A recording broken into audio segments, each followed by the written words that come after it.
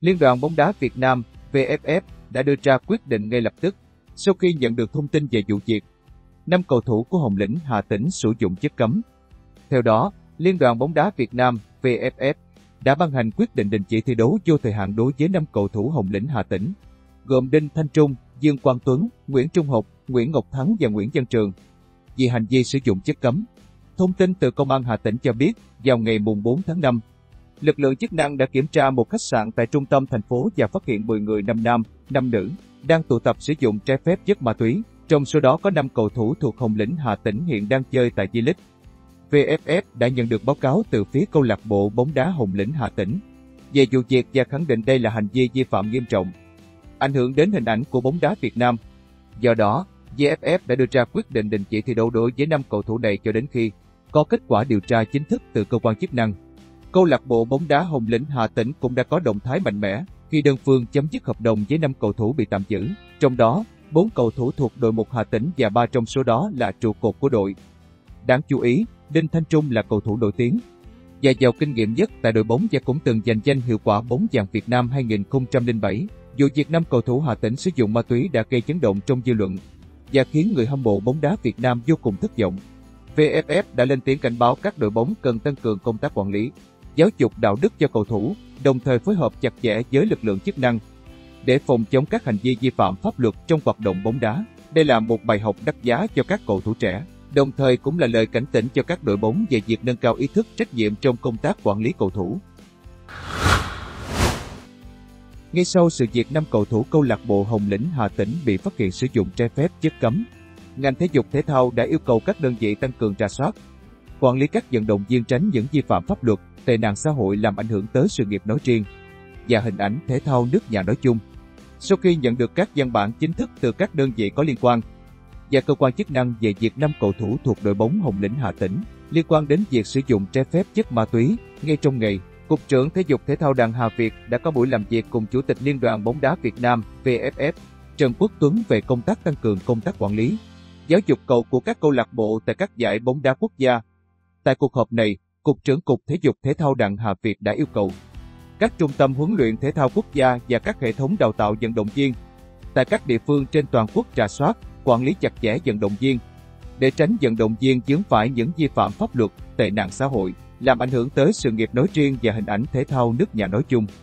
Ban kỷ luật Liên đoàn bóng đá Việt Nam đã ban hành quyết định về việc tạm đình chỉ thi đấu đối với các cầu thủ nêu trên, đồng thời đề nghị lãnh đạo và ban huấn luyện các CLB, đội bóng cần tiếp tục nêu cao tinh thần trách nhiệm và tăng cường công tác quản lý, tích cực phối hợp với các cơ quan chức năng địa phương, tăng cường tổ chức giáo dục nâng cao nhận thức về tác hại của các chất gây nghiện, tuân thủ các quy định của pháp luật cho các cầu thủ, chủ động kiểm tra, phát hiện, cương quyết ngăn chặn các hành vi sử dụng chất cấm, chủ động phối hợp với VFF, ban tổ chức giải, các cơ quan an ninh để phát hiện và cùng tham gia ngăn chặn.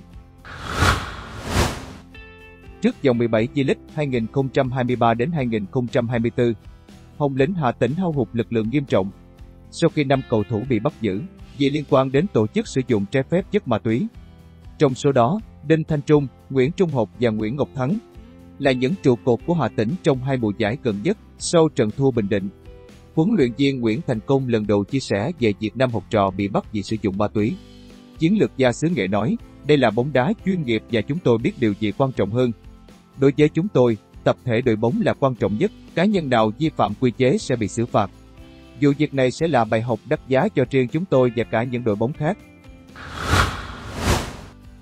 Huấn luyện viên Kim Sang Sích đang được kỳ vọng mang tới cho tuyển Việt Nam luồng gió mới về lối chơi, con người, nhưng có lẽ vẫn phải chờ đến khi chiến lược gia người Hàn Quốc quen việc. Bình mới, nhưng thất vọng dưới triều đại của huấn luyện viên Chausier đang dần qua. Khi tuyển Việt Nam chào đón tân thuyền trưởng người Hàn Quốc là ông Kim Sang Sích ít ngày trước, như thường lệ, việc thay đổi huấn luyện viên luôn mang đến cho người hâm mộ những kỳ vọng mới với sự thành công rực rỡ hơn.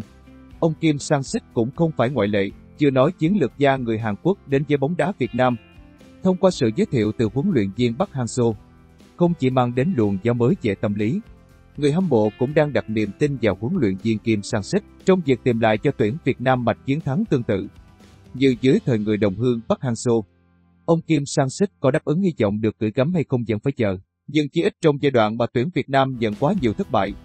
Sự xuất hiện của chiến lược gia tới từ Hàn Quốc cũng mang tới điều gì đó cho người hâm mộ vào lúc này.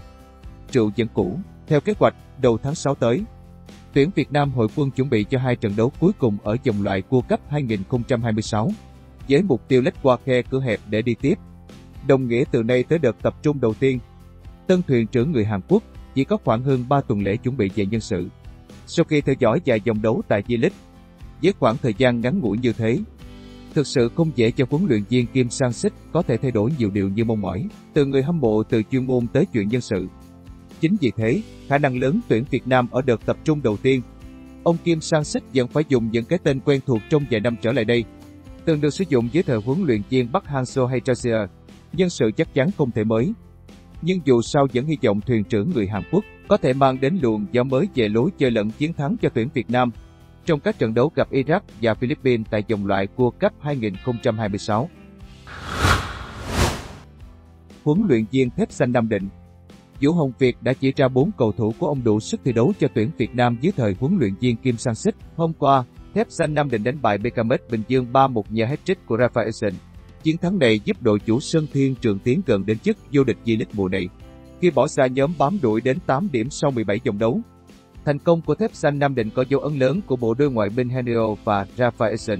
Henrio đã ghi 8 bàn, kiến tạo 6 bàn, trong khi Rafaelson ghi 19 bàn sau 17 trận đấu. Tuy nhiên, không ít đội binh cũng đóng góp vào thành tích vượt trội của Nam Định ở thời điểm này. Trong cuộc họp báo sau trận, huấn luyện viên Vũ Hồng Việt đã chỉ ra 4 cầu thủ Việt Nam xuất sắc nhất trong đội hình của ông và xứng đáng lên tuyển dưới thời tân huấn luyện viên Kim Sang Sích. Huấn luyện viên Vũ Hồng Việt cho biết, với huấn luyện viên mới, tôi mong Nam Định có nhiều cầu thủ được gọi lên tuyển hơn thời kỳ trước. Nếu có thể, tôi sẽ giới thiệu với ông Kim sang xích 4 cầu thủ đang duy trì phong độ rất cao. Là Nguyễn Văn Toàn, Tô Văn Vũ, Trần Văn Đạt và Trần Văn Công. Huấn luyện viên Kim Sang-sik và cộng sự cũng có mặt tại Thiên Trường tối qua để theo dõi trực tiếp trận đấu. Chiến lược gia người Hàn Quốc nhiều khả năng sẽ trao cơ hội cho nhiều cầu thủ Nam Định hơn. Trước đó, huấn luyện viên Chaucer chỉ thường xuyên triệu tập Nguyễn Văn Toàn. Cho dù đội bóng Thành Nam đã vượt lên dẫn đầu V-League từ lâu, chia sẻ thêm về cơ hội vô địch của Nam Định. Huấn luyện viên Vũ Hồng Việt tỏ ra thận trọng. Ông nói, thắng trận rất vui và sung sướng rồi. Nhất là trước đối thủ đang xếp ngay sau và cạnh tranh quyết liệt cho cuộc đua đến ngôi vô địch. Tuy nhiên, bản thân tôi nghĩ chưa chắc chắn được điều gì. Khoảng cách điểm số được nới rộng hơn thì toàn đội càng phải tiếp tục cố gắng. Không được xẻ chân trong chính vòng đấu tiếp theo. Chúng tôi sẽ tập trung cho từng trận một. Tôi nghĩ thành bại sẽ diễn ra trong tháng năm tới khi có tổng cộng 7 vòng đấu, mật độ 4 ngày trên một trận.